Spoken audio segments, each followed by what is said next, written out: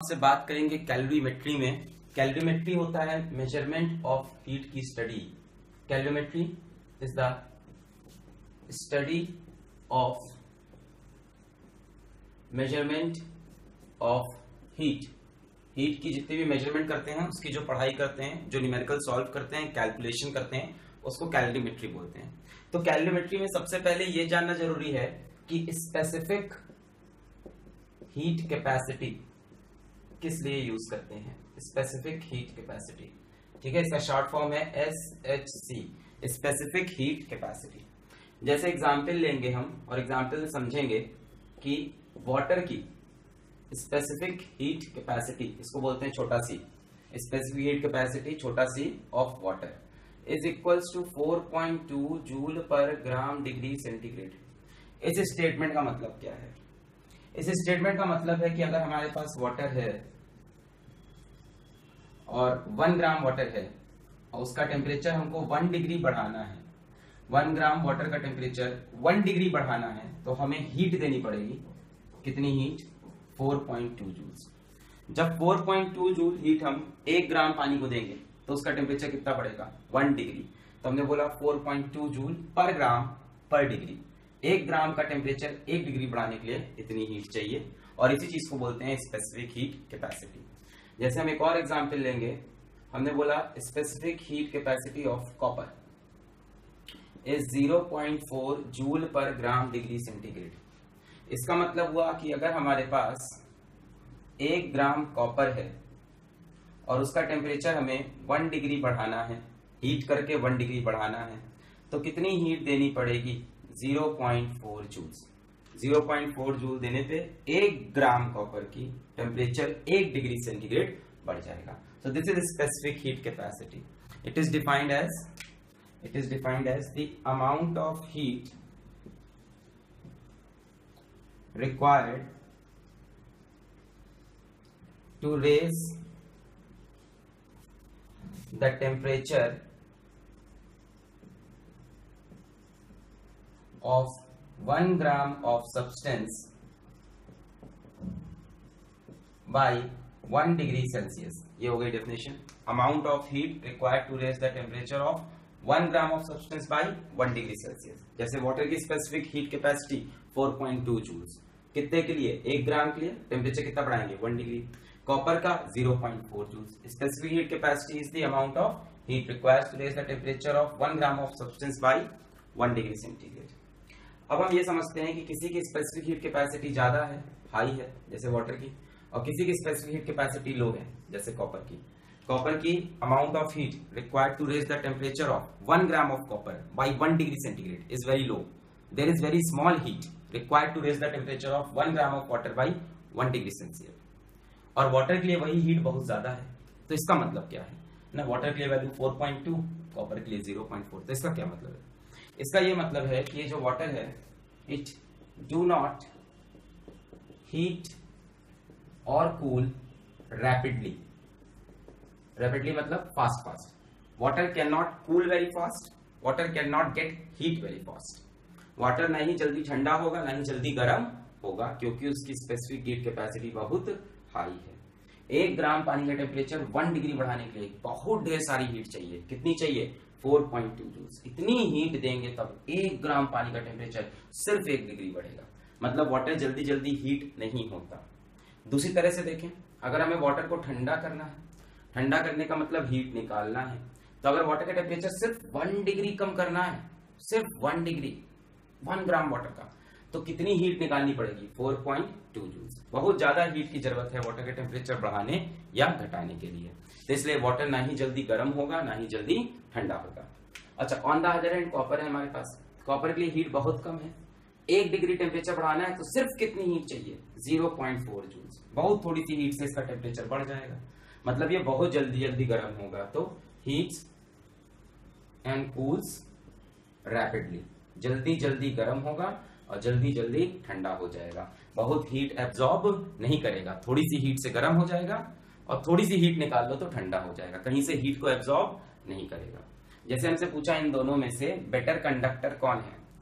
Conductor conductor वो होता है जो हीट को एब्जॉर्ब नहीं करे। पास कर दे।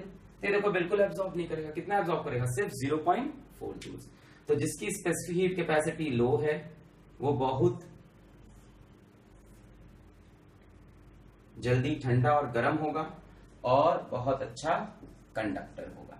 और जिसकी स्पेसिफिक हीट कैपेसिटी हाई है, वो जल्दी ना ठंडा होगा, ना गर्म होगा और हीट का एब्जॉर्बर होगा। जैसे हम पूछें, कौन ज़्यादा हीट एब्जॉर्ब कर सकता है वाटर या कॉपर तो आप बोलेंगे वाटर का टेम्परेचर एक डिग्री बढ़ाने के लिए बहुत ढेर सारी हीट चाहिए 4.2 तो वाटर ज़्यादा हीट एब्जॉर्ब करेगा, जबकि कॉपर का टेम्परेचर वन डिग्री बढ़ाने के लिए सिर्फ़ 0.4 तो ये इतनी हीट एब्जॉर्ब नहीं करेगा।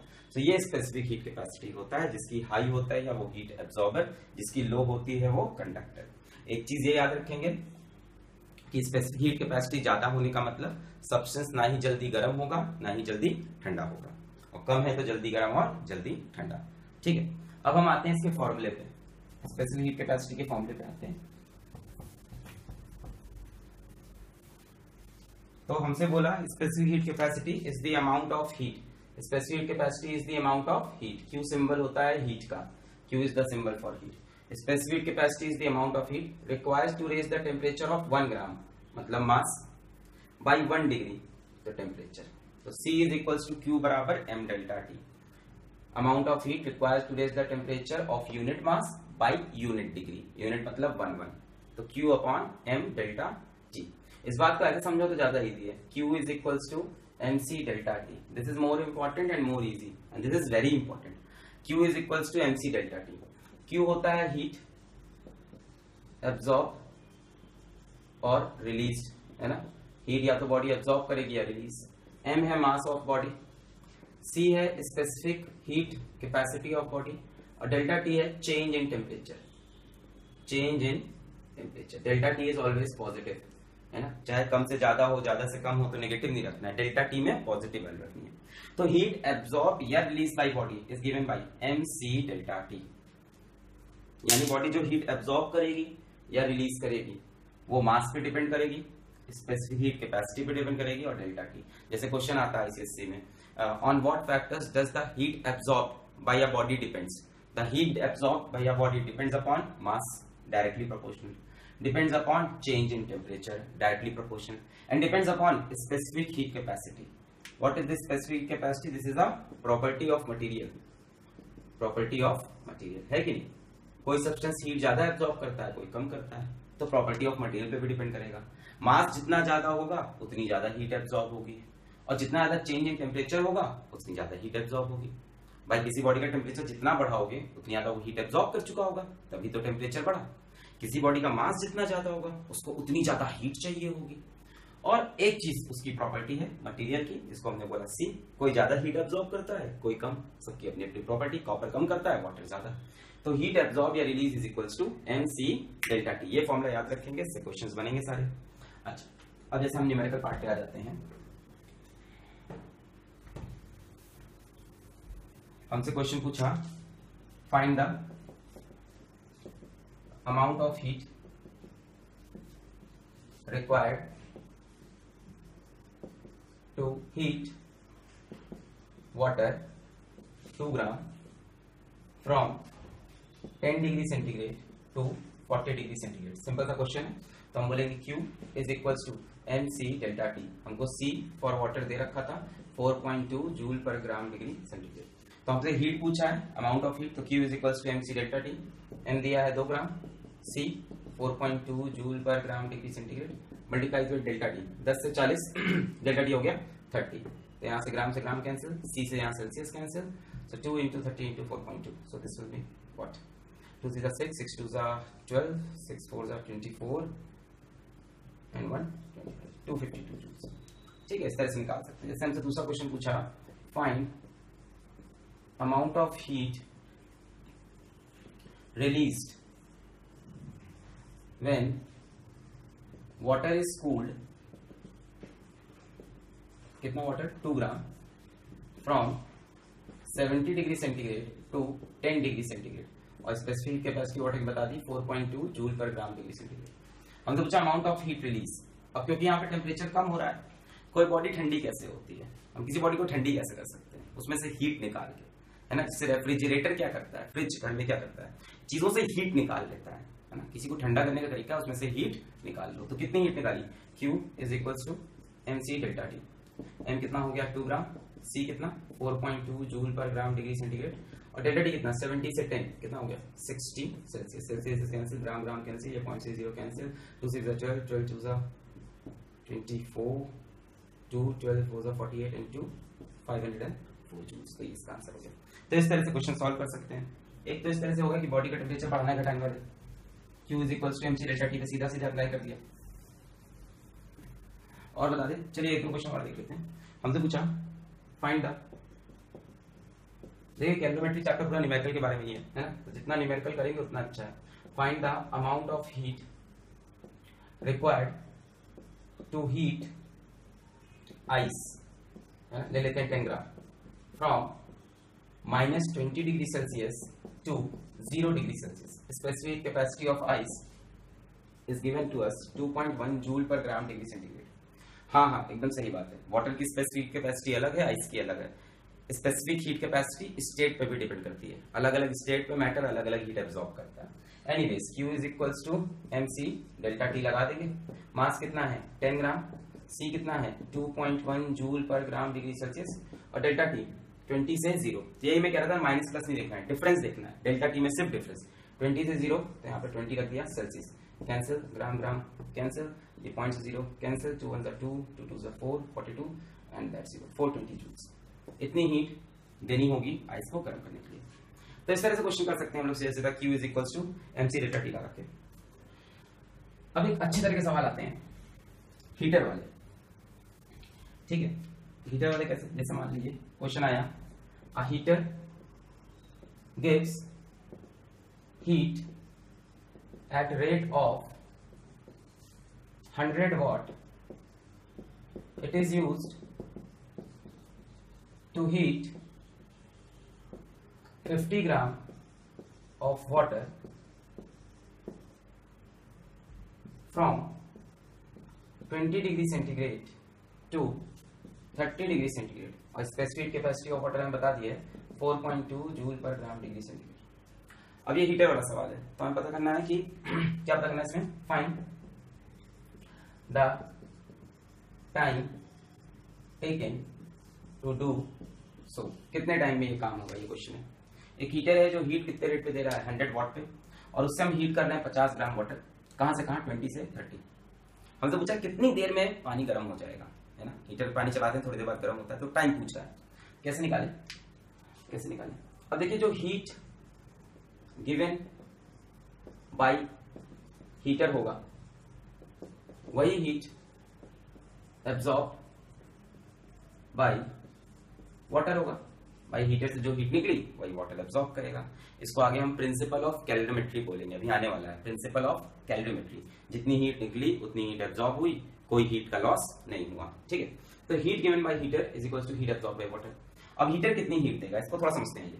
दो तरह समझा सकते हैं। हंड्रेड वोट हंड्रेड वोट का मतलब होता है हंड्रेड जूल्स पर सेकेंड ये हीटर एक सेकेंड में कितनी हीट दे रहा है? हंड्रेड जूल वॉट का मतलब क्या होता है? Joule per second work by energy पड़ा था ना? तो एक सेकेंड में ये देता है हंड्रेड जूल दो सेकंड में कितना देगा? हंड्रेड इंटू टू जूल अच्छा पाँच सेकंड में कितना देगा? हंड्रेड इंटू फाइव जूल्स अच्छा टी सेकेंड में कितना देगा?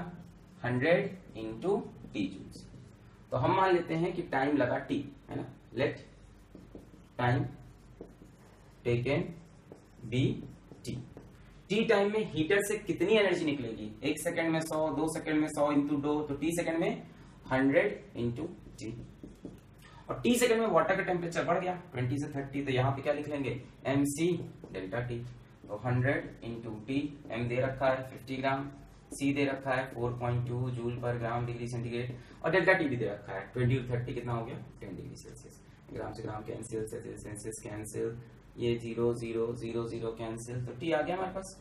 4.2 पॉइंट टू इंटू फाइव आ गया। और ये जूल से joule cancel 4.2 point two into five so five two ten five four twenty one twenty one seconds twenty one seconds में पानी गर्म हो जाएगा।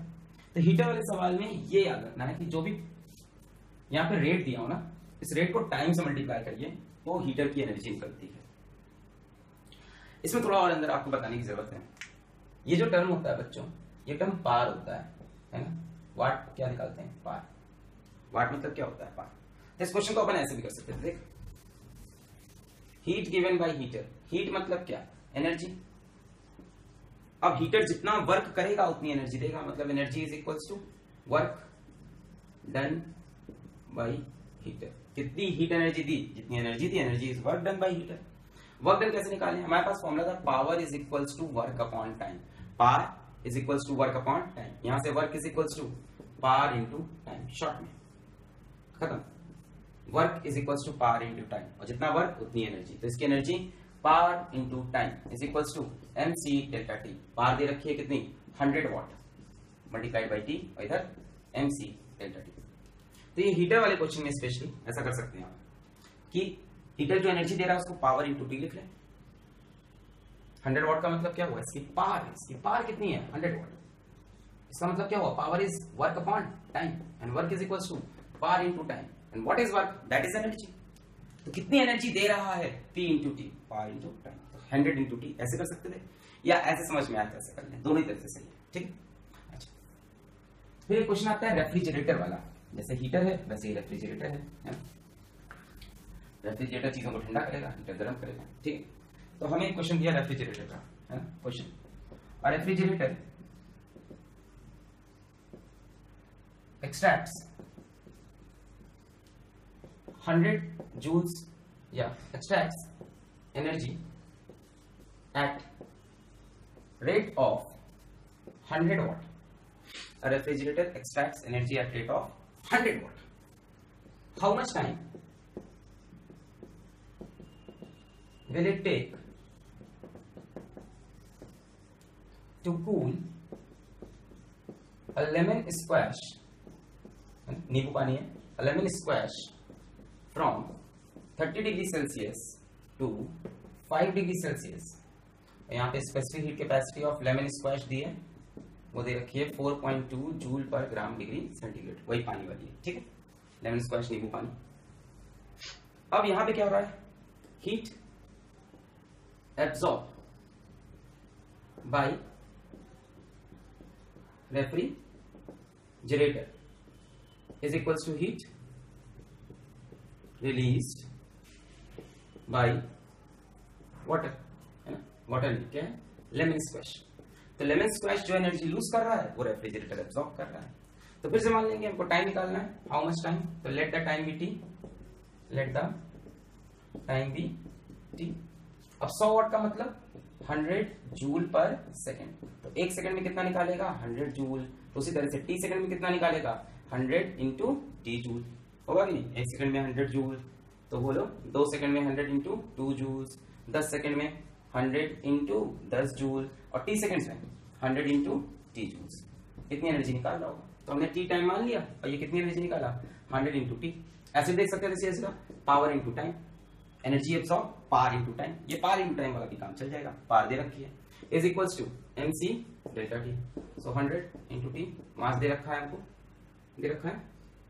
टेक कूलर लेमन स्क्वैश नहीं दिया। तो मान लेते हैं लेमन स्क्वैश का मास है 100 ग्राम सो मास रख दिया 100 gram into C 4.2 joule per gram degree centigrade और डेल्टा टी तीस से पाँच मतलब 25 यहाँ से टी निकाल लेंगे टी किसमें आएगा? हमारा आंसर आंसर हमारा सेकेंड्स में आएगा। बोले क्लियर हो गए तो ये भी रेफ्रिजरेटर और हीटर वाले सवाल है।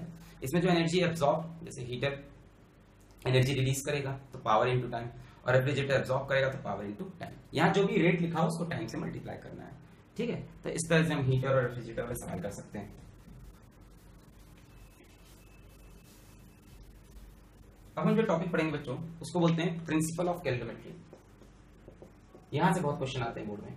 प्रिंसिपल ऑफ़ कैलोरी मेट्री इसका एक नाम और method of mixture principle of calorimetry या मेथड ऑफ़ मिक्सचर दोनों का कंसेप्ट सेम है, ठीक है? मेथड ऑफ़ मिक्सचर भी इसी भी प्रिंसिपल पे काम करता है. कुछ नहीं, ये प्रिंसिपल सिंपल बोलता है. Heat lost hot body is equals to heat gained by cold body simple phenomena है heat loss by hot body is equals to heat gained by cold body principle of calorimetry provided there is there is provided there is no loss of heat तो जितनी heat hot body से निकलेगी cold body absorb कर लेगी। ठीक है? अच्छा कब तक हीट ट्रांसफ़र होती है? जो बॉडी हायर टेम्परेचर पे होती है ना हीट वहाँ से ट्रांसफ़र होती है। कहाँ को? जो बॉडी लोअर टेम्परेचर पे होती है। सबने पढ़ रखा है। Heat is always transfer from body at higher temperature to a body at lower temperature पर कब तक? तब तक जब तक दोनों का टेम्परेचर बराबर ना हो जाए। हाई टेम्परेचर लोअर टेम्परेचर ये हीट लूज कर रहा है, ये गेन कर रहा है गेन कर रहा है गेन कर रहा है। एक टाइम दोनों का टेम्परेचर सेम हो गया। इसके बाद हीट ट्रांसफ़र बंद। सो तब तक हीट ट्रांसफ़र होता है provide there is no loss of heat हमसे पूछता है, ये दोनों ही method of mixture principle of calorimetry किस फंडामेंटल प्रिंसिपल पे बेस्ड है? तो फंडामेंटल प्रिंसिपल समझ रहे हैं आप? नहीं समझ रहे? याद आ गया? किस पे बेस्ड है? Conservation of energy heat loss by hot body is equals to heat gain by cold body तो ये प्रिंसिपल ऑफ़ कैलोमेट्री या मेथड ऑफ़ मिक्सचर और इसकी बेसिस पे हमको बहुत से क्वेश्चन करने हैं। ठीक है? Heat loss by hot body is equals to heat gain by cold body अब मिक्सचर वाले सवाल जिसमें दो दो सब्सटेंस आ गए जैसे क्वेश्चन आ गया 10 gram water at 80 degree celsius is mixed with is mixed with 50 gram copper at 10 degree celsius ठीक है find the final temperature of mixture specific heat water की दे रखी है 4.2 joule per gram degree centigrade और specific heat copper की दे रखी है 0.4 joule per gram degree centigrade तो इस तरह के सवाल है हमारे पास मेथड ऑफ़ मिक्सचर इनको सॉल्व करने के लिए इधर साइड में आएँगे। एक कॉलम बनाएँगे हॉट बॉडी का, एक कॉलम बनाएँगे कोल्ड बॉडी का। ऐसे ही सॉल्व होंगे सवाल हॉट बॉडी और कोल्ड बॉडी इसी तरह के सवाल है सारे, सब इसी तरह सॉल्व हो जाएँगे। कोई टेंशन नहीं। Hot body cold body hot body कौन है हमारा? वाटर कोल्ड बॉडी कौन है हमारा? कॉपर लिख लिया। वाटर एंड कॉपर यहाँ वाटर का मास कितना दिया हुआ है? टेन ग्राम टेम्परेचर कितना दिया है? एट्टी डिग्री सेल्सियस और स्पेसिफिक हीट वाटर कितनी है? फोर पॉइंट टू यहाँ कोल्ड बॉडी का मास कितना दिया है? यानी कॉपर का मास फिफ्टी ग्राम टेम्परेचर कितना दिया है? टेन डिग्री सेंटीग्रेड दिया ना? Copper at ten degree centigrade और स्पेसिफिक कैपेसिटी कॉपर की ज़ीरो पॉइंट फोर अब हमसे पूछा फाइनल टेम्परेचर क्या है? बताएँ। इसका टेम्परेचर कम होगा, इसका टेम्परेचर बढ़ेगा। हॉट बॉडी से कोल्ड बॉडी पे हीट ट्रांसफ़र होगी।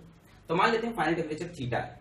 इसका टेम्परेचर बढ़ के थीटा हुआ, इसका टेम्परेचर सॉरी घट के थीटा हुआ, इसका टेम्परेचर बढ़ के थीटा अब आप लगा दीजिए by applying principle of calorimetry principle of calorimetry heat lost by water is equals to heat gain by copper यही है principle of calorimetry heat lost by hot body is equals to heat gain by cold body तो water के लिए heat lost M C delta T और इसके लिए भी M C delta T water का मास रख देंगे 10 gram C 4.2 delta T water का टेम्परेचर 80 और फाइनल टेम्परेचर कितना माना? थीटा थीटा के बाद हीट ट्रांसफ़र बंद इसको बोलते हैं इक्विलिब्रियम टेम्परेचर इक्विलिब्रियम टेम्परेचर ये टेम्परेचर आने के बाद हीट का ट्रांसफ़र बंद हो जाएगा। फाइनल टेम्परेचर इस पे कांस्टेंट टेम्परेचर इसके बाद टेम्परेचर ना बढ़ेगा, ना घटेगा.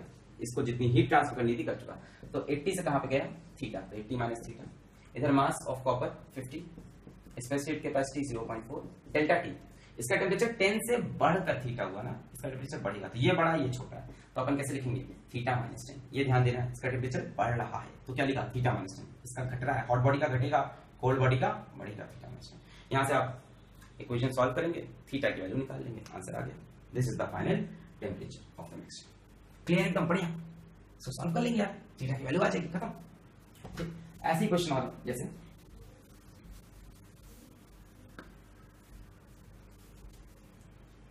हमसे बोला. Another question 20 gram of solid at 20 degree centigrade. Is mixed with 100 gram of cold water at 5 degree centigrade. If final temperature of mixture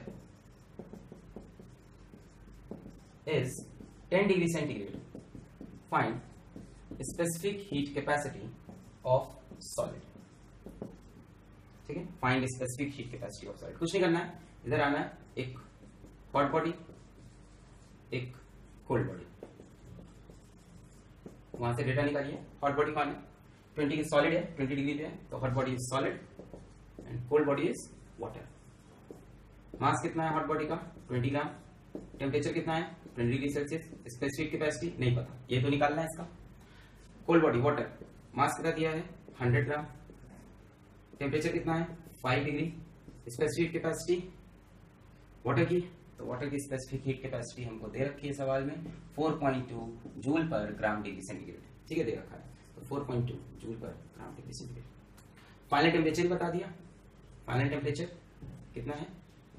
10 degree centigrade 10 degree centigrade इसका टेम्परेचर 20 से घट के 10 इसका 5 से बढ़ के 10 प्रिंसिपल ऑफ़ कैलोमेट्री लगाएँगे। By applying principle of calorimetry heat lost by solid is equals to heat gained by water. Heat lost by hot body is equals to heat gained by cold body. यहाँ पे लिख लेंगे M सी delta T यहाँ पे भी लिख लेंगे M C delta T solid का मास दिया है 20 सी दिया है, नहीं पता, निकालना है। डेल्टा टी कितना है? हाँ डेल्टा टी 20 से कहाँ पे आए? 10 तो कितना हो जाएगा? 20 माइनस टेन दस हो जाएगा। इधर मास कितना है? 100 सी कितना है? 4.2 डेल्टा टी पाँच से कहाँ पे आए? दस तो दस माइनस पाँच, इसका डेल्टा टी इस इक्वेशन में सब कुछ पता है सी की वैल्यू नहीं पता है, हम कैलकुलेट कर लेंगे तो प्रिंसिपल ऑफ़ कैलकुलेटरी लगा के ये इस तरह के हल्के हल्के इजी इजी सवाल आप सॉल्व कर सकते हैं। दीज आर इजी क्वेश्चंस कर पाएँगे नहीं? यहाँ सी ये सी नहीं पता सी को निकाल लेंगे। हमेशा ऐसी चार्ट बनाना है, एक तरफ़ हॉट बॉडी एक तरफ़ कोल्ड बॉडी और इसको सॉल्व कर लेंगे। अब हम आपको एक कॉम्प्लेक्स सवाल देते हैं। हमने क्या किया? In a copper vessel we pour 20 gram of water at 80 degree centigrade. Okay full stop. Now 100 gram of cold water at 10 degree centigrade is added to vessel. Find the final temperature of mixture. If vessel weighs 50 ग्राम पढ़ लीजिए ध्यान से question अब copper की एक vessel दिया हुई है उसके अंदर पहले से कोल्ड वाटर था। नहीं हॉट वाटर था। टेम्परेचर कितना है? 80 उसमें 100 ग्राम कोल्ड वाटर डाल दिया 10 डिग्री पे। डालेंगे वाटर मिक्स होगा टेम्परेचर कुछ चेंज होगा, है ना? तो फाइनल टेम्परेचर हमसे पूछा है और बताया वेसल का वेट कितना है? 50 ग्राम साथ में कुछ इन्फॉर्मेशन दी है। वेसल कॉपर की बनी है तो कॉपर की स्पेसिफिक कैपेसिटी बता दी हमें 0.4 joule per gram degree centigrade और वाटर का बहुत यूज़ है तो वाटर की स्पेसिफिक कैपेसिटी बता दी हमें 4.2 joule per gram degree centigrade ध्यान से पढ़ लीजिए क्वेश्चन बढ़िया क्वेश्चन इसको सॉल्व करते हैं। इधर आ गए, हमने एक तरफ़ ले ली हॉट बॉडी और एक तरफ़ ले ली कोल्ड बॉडी तो हॉट बॉडी कौन है हमारा? वाटर हॉट वाटर और कोल्ड बॉडी कौन है हमारा? कोल्ड वाटर अब इस क्वेश्चन में वेसल भी अपना गेम करेगा, है ना? वेसल भी आ गया तो वेसल किस बॉडी के साथ जाएगा? हॉट की कोल्ड अच्छा in a copper vessel 20 gram of water at 80 degree centigrade ये पोर किया कॉपर की वेसल में जो भी चीज़ डालोगे, उस चीज़ का जो टेम्परेचर होगा वेसल का वही टेम्परेचर तुरंत हो जाएगा। ठीक है? The temperature of vessel is equal to the temperature of the content that we pour inside it. यानी इस टाइम कॉपर की वेसल का टेम्परेचर भी कितना होगा? 80 और इस वाटर का भी कितना होगा? 80 मतलब ये दोनों ही हॉट बॉडी बन गए। कॉपर की वेसल का टेम्परेचर भी 80 और इस वाटर का टेम्परेचर भी 80 तो हॉट वाटर भी हॉट बॉडी है और कॉपर वेसल भी। इस बार दो हॉट बॉडी कोल्ड बॉडी सिर्फ़ कोल्ड वाटर ठीक है? दोनों बॉडी को लिखते हैं एक करके, है ना? पहले हॉट वाटर के बारे में लिखते हैं, फिर कॉपर के वेसल के बारे में लिखेंगे। तो इसका मास हमको दे रखा है 20 ग्राम स्पेसिफिक कैपेसिटी 4.2 और टेम्परेचर 80 कॉपर वेसल का मास दे रखा है 50 ग्राम स्पेसिफिक कैपेसिटी 0.4 और टेम्परेचर 80 ये ध्यान रखना है। वेसल का वही टेम्परेचर होगा जो उसके अंदर चीज़ डाली, उसका जो टेम्परेचर एग्जैक्ट वही टेम्परेचर तुरंत। इधर कोल्ड बॉडी में कोल्ड बॉडी में हमारे पास मास है 100 ग्राम कोल्ड वाटर का स्पेसिफिक कैपेसिटी वाटर की 4.2 टेम्परेचर इसका कितना दे रखा है? 10 हमसे पूछा फाइनल टेम्परेचर क्या होगा? मान लेते हैं फाइनल टेम्परेचर थीटा होगा। इन दोनों का टेम्परेचर गिरेगा, इसका टेम्परेचर बढ़ेगा। तो इस बार इक्वेशन थोड़ी चेंज हो जाएगी इक्वेशन क्या लिख लेंगे heat lost by copper plus heat loss by hot water is equals to heat gain by cold water बस, ये अगर आप बनाना सीख जाए तो question solve heat loss by copper copper की हीट लॉस कितनी होगी? M C delta T heat loss by hot water M C delta T heat gain by cold water M C delta T यहाँ से mass copper का रख देंगे 50 specific capacity 0.4 delta T अब इसका टेम्परेचर 80 से गिरता हुआ कितना हो जाएगा? थीटा तो अपन लिख देंगे 80 minus theta plus mass of water 20 C 4.2 इसका टेम्परेचर 80 से गिरता हुआ कितना होगा? थीटा हॉट बॉडी का टेम्परेचर गिरेगा. तो 80 minus theta is equals to mass इधर कितना रख लेंगे 100 सी कितना हो गया? 4.2 डेल्टा टी इसका टेम्परेचर 10 से बढ़ता हुआ थीटा तो थीटा माइनस टेन इस इक्वेशन में सब कुछ पता है? हम थीटा की वैल्यू फाइंड कर लेंगे। बाकी सारी चीज़ें पता थी। तो ये कैलोरीमेट्री वाले सवाल में हाँ ये कॉपर वेसल वाले, इसको कैलोरीमीटर भी कहते हैं। This copper vessel is also called calorimeter calorimeter वो डिब्बा।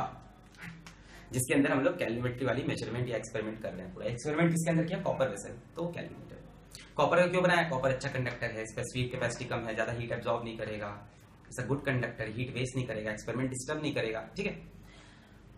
तो कॉपर वेसल जो होती है, उसका वही टेम्परेचर जो उसके अंदर डाले हुए कंटेंट का। तो हमारे पास दो हॉट बॉडीज में कॉपर वेसल और वाटर तो copper vessel and hot water hot body दोनों का यहाँ पे डिस्क्रिप्शन लिख लिया, mass C T T temperature इसका वही जो इसका है।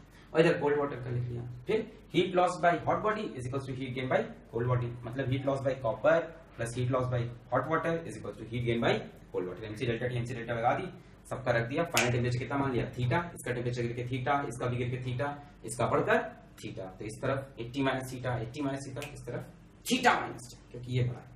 इस तरह से हम लोग कैलोरीमीटर की सवाल सॉल्व कर सकते हैं। एक और सवाल लेते हैं। एक कॉपर वेसल का हो गया। एक रेफ्रिजरेटर हीटर वाले हो गए मिक्सिंग ऑफ़ बॉडी हो गए। और एक ले लेते हैं। ये कंसाइज का अच्छा क्वेश्चन है, ये ले लेते हैं। क्वेश्चन नंबर ट्वेल्व ये बच्चों को बहुत प्रॉब्लम होती है इसमें तो इसमें मैंने सीधा ये क्वेश्चन ले लिया to the temperature of 600 gram 600 gram of cold water rises by 15 degree centigrade when 300 gram of hot water is added. Find initial temperature of cold water ठीक है Specific capacity नहीं दिया, सवाल में दिया ही नहीं, ऐसे छोड़ दिया, करो अपने The temperature of 600 gram of cold water rises by 50 degree Celsius. When 300 gram of hot water is added. कुछ नहीं करना। इधर आना जो चीज़ें बताइए फॉलो करिए। इधर हॉट बॉडी इधर कोल्ड बॉडी इससे सारे क्वेश्चन सॉल्व हो जाएँगे हॉट बॉडी कोल्ड बॉडी से।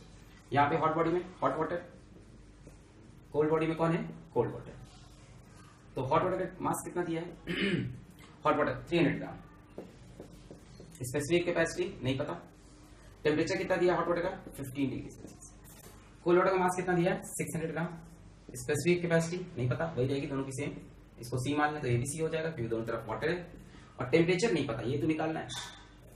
Find initial temperature of cold water information क्या है? Temperature of 600 gram of cold water rises by 15 degrees centigrade when this is added to it. When 300 gram of hot water is added. इसका temperature 15 बढ़ जाएगा। पर कितना है ये नहीं पता। Let's its temperature be x तो फाइनल टेम्परेचर इससे कितना ज़्यादा होगा? राइजेस बाई 15 डिग्री नहीं, इसमें कुछ इंफॉर्मेशन हो गई। Hot water at 50 degree celsius is hot water at 50 degrees celsius hot water का टेम्परेचर दिया है कितना? 50 एक बार फिर से क्वेश्चन पढ़ लीजिए थोड़ा सा मैंने गलत दिया था। लिया? The temperature of 600 gram of cold water rises by 15 degree Celsius when 300 gram of hot water at 50 degree Celsius is added. तो hot water का मास 300 ग्राम स्पेसिफिक कैपेसिटी नहीं पता और टेम्परेचर दे रखा है hot water का 50 300 ग्राम वाटर है 50 इसमें डाला। The temperature of 600 gram of water rises by 15 इसका टेम्परेचर क्या है? पता नहीं। पर बढ़ कितना जाएगा? 15 इसका टेम्परेचर x मान लिया। अब यहाँ फाइनल टेम्परेचर यहाँ पर फाइनल टेम्परेचर बीच में लिखेंगे कि नहीं? इसका टेम्परेचर बढ़ेगा इसका इसका कितना बढ़ेगा? 15 तो x plus 15 the temperature of cylinder water rises by 15 तो मैंने बना x तो ये हो गया x प्लस 15 बस हो गया। अब लगा देंगे principle of calorimetry principle of calorimetry heat loss by hot water is equals to heat gain by cold water खत्म सवाल। खत्म हो गई। भाई हॉट वाटर बोली M C delta T cold water के लिए भी। M C delta T hot water का मास सकते हैं 300 ग्राम स्पेसिफिक कैपेसिटी को सी डेल्टा टी, इसका टेम्परेचर 50 से गिरता हुआ कहाँ आएगा? X प्लस फिफ्टीन इसका टेम्परेचर कम होता हुआ। X plus fifteen fifty fifty minus x plus fifteen सही है? X प्लस फिफ्टीन और इसका mass 600 specific heat C delta T x से बढ़कर x प्लस फिफ्टीन तो यहाँ से इसको माइनस कर लेंगे। X plus fifteen minus x x x cancel C C दोनों तरफ़ कैंसिल ज़ीरो से ज़ीरो ज़ीरो से ज़ीरो कैंसिल थ्री वन जा थ्री थ्री टू जा सिक्स तो fifty minus x minus 15 so this will be 35 minus x. This is 2 times of 15 this will be 30 यहाँ से x is equals to 35 minus 30 x is equals to 5 initial temperature 5 उसका final temperature 5 plus 15 20 तो इस तरह से आप method of mixture के सवाल कर सकते हैं। एक छोटा सा टॉपिक हमारा बचा रह गया, जो कि बहुत आता है क्वेश्चन जिसको हम बोलते हैं हीट कैपेसिटी ठीक है? क्या? Heat capacity specific heat capacity अलग चीज़ है, ये हीट कैपेसिटी एक टॉपिक आया हमारे पास हीट कैपेसिटी ये क्या होता है? ये बड़ा सी होता है। इसका फॉर्मूला क्या होता है? मास इंटू छोटा सी खत्म। हीट कैपेसिटी या इसी का नाम है थर्मल कैपेसिटी क्या नाम है? थर्मल कैपेसिटी क्या फॉर्मूला है? एम इंटू छोटा सा सी छोटा सी बोले तो स्पेसिफिक हीट कैपेसिटी ठीक। है इनका मतलब क्या है? इनकी डेफिनेशन क्या है? It is the amount of heat required to raise the temperature of whole body by one degree celsius बस amount of heat required to raise the temperature of whole body by one degree celsius अच्छा specific heat capacity से अलग है ना? Specific heat capacity कुछ और specific heat capacity में क्या था? Amount of heat required to raise the temperature of one gram of substance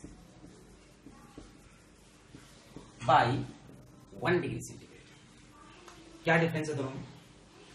ये ग्राम वाली कहानी ये इसमें एक्स्ट्रा है। Specific capacity is the amount of heat required to raise the temperature of one gram of substance by one degree centigrade it is the amount of heat required to raise the temperature of whole body by one degree centigrade specific capacity unit mass के लिए defined है, छोटे छोटे मास के लिए। ये पूरी body के लिए डिफाइंड है। क्वेश्चन लेते हैं हमें क्वेश्चन ले लेते हैं। ठीक है? हम कहते हैं हमारे पास 20 ग्राम वाटर है। कितना वाटर है? 20 ग्राम। सो so, इसकी हीट कैपेसिटी क्या होगी? What is the heat capacity of 20 gram water it is the amount of heat required to raise the temperature of whole body by 1 degree centigrade ठीक है? इस पूरे का temperature 1 degree बढ़ाना है। तो 1 ग्राम का टेम्परेचर वाटर की स्पेसिफिक कैपेसिटी कितनी होती है? 4.2 joule per gram degree centigrade एक ग्राम का टेम्परेचर एक डिग्री बढ़ाने के लिए कितनी हीट चाहिए? 4.2 तो 20 ग्राम के लिए कितनी चाहिए होगी? Four point two into twenty यानी टू टू फोर 84 जूल्स एक ग्राम का टेम्परेचर एक डिग्री बढ़ाने के लिए कितनी चाहिए? 4.2 जूल्स और 20 ग्राम का बढ़ाने के लिए? एक ग्राम का एक डिग्री बढ़ाने के लिए 4.2 20 ग्राम का एक डिग्री बढ़ाने के लिए 4.2 एटी फोर ये तो मैं बता रहा हूँ capital C is equal to M M कितना था? 20 और सी कितना था? 4.2 मल्टीप्लाई कर दिया. कितना आ गया? बोल आ गया कि नहीं? 84 it is the total amount of heat required by the body by the whole body to raise its temperature by 1 degree centigrade. That is the amount of heat required by the 1 gram of substance. अच्छा ये चीज़ जो है ना ये property of substance है सिर्फ़ property of substance this is independent of mass independent of mass ये mass पे डिपेंड नहीं करती कैसे नहीं करती मान लो मैं सिनेरियो चेंज कर मैं बोलूँ मेरे पास 100 ग्राम वाटर है। अब आप बताइए इसकी स्पेसिफिक हीट कैपेसिटी कितनी होगी? वही होगी। कितनी? 4.2 joule per gram degree centigrade अच्छा इसकी हीट कैपेसिटी कितनी होगी? हीट कैपेसिटी मतलब amount of heat required to raise the temperature of whole body by तो एक ग्राम का टेम्परेचर एक डिग्री बढ़ाने के लिए 4.2 इतने के लिए कितना हो जाएगा? 4.2 पॉइंट टू इंटू हंड्रेड ये हो गया कैपिटल सी कैसे निकाला मैंने? देखो। M इंटू सी कितना हो गया? 420 जूल्स पिछली बार ये कितना आया था? कुछ और आया था 84 जूल्स इस बार कितना आ गया? 420 जूल्स यानी जो बड़ा सी है, ये मास पे डिपेंड करता है। तो it is depends on mass and specific capacity is same it depends only upon substance depends on material मैं मटेरियल चेंज कर दूँगा तो स्पेसिफिक हीट कैपेसिटी चेंज हो जाएगी। मास के ऊपर डिपेंड नहीं करती। और हीट कैपेसिटी मास पे डिपेंड करती है। जितना ज़्यादा मास होगा, जितना ज़्यादा मास होगा, उतनी ज़्यादा heat capacity this is not constant for a given material but this is constant for a given material ये हमें निकालना नहीं होता। ये निकला हुआ है एक्सपेरिमेंट्स में बताया हुआ है, लिखा हुआ है किताबों में। ये निकालते हैं अलग अलग सवाल में। हर सवाल में मास अलग होगा हीट कैपेसिटी अलग अलग heat capacity is the amount of heat required to temperature of whole body by 1 degree which depends upon the mass कि कितना मास है, कम है कि ज़्यादा है। जितना ज़्यादा होगा हीट उतनी ज़्यादा होगी, उतना दसी हो बड़ा वाला। And this is the amount of heat required to temperature of 1 gram of substance by 1 degree centigrade सिर्फ़ 1 ग्राम की बात ये फिक्स है। डेंसिटी जैसा। जैसे डेंसिटी फिक्स होती है सब्सटेंस तो ये डिफरेंस हो गया। एग्ज़ाम पूछता है, इनका डिफरेंस क्या है? तो बता सकते हैं। डेफिनेशन लिख देंगे। ये डिपेंड मास पे कौन करता है? कौन नहीं करता ऐसे बता कैपिटल सी का एक फॉर्मूला और हम लिख सकते हैं। वो छोटे सी से इंस्पायर्ड होगा। ठीक है? बहुत ऐसे हम एक फॉर्मूला पढ़े थे। Q is equal to M C delta T अब m इंटू सी क्या बन गया? कैपिटल सी तो Q is equal to capital C into delta T कई क्वेश्चन में थर्मल कैपेसिटी देखे ही क्वेश्चन सॉल्व करा लेते हैं। तो आप m इंटू सी जहाँ पे देखे, उसको कैपिटल सी मान लेंगे। सो ये कैलरीमेट्री में पहला पार्ट था जिसमें rise and fall in temperature देखा हमने। अभी कोई चेंज ऑफ़ स्टेट नहीं हुआ। चेंज ऑफ़ स्टेट में लेटेंट हीट आ जाता है, जो कि इंटायरली डिफरेंट कॉन्सेप्ट है। एमसी डेल्टा टी नहीं लगता। अभी एमसी डेल्टा टी के सारे क्वेश्चन सॉल्व किए। आपके जो भी डाउट्स हैं, आप कमेंट सेक्शन को बता सकते हैं। थैंक यू बच्चों।